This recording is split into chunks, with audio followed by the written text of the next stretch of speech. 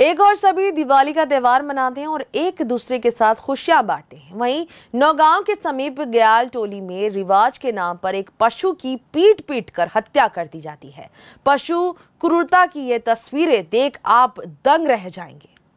मामला छतरपुर के नौगांव से एक किलोमीटर की दूरी पर ग्राम बिलहरी का है। यहाँ हर साल रिवाज के नाम पर एक जानवर को मार दिया जाता है। यह दीपावली के दूसरे दिन ग्वाल टोली के लोग अपनी उन गायों को सजाते हैं जिनका बछड़ा छोटा होता है और बछड़े के साथ गायों को एक मैदान में ले जाते हैं। फिर बरार समाज से एक सुअर को खरीदा जाता है और उसके चारों पैर बांधकर घसीटते हुए उससे भी मैदान में ले जाते हैं।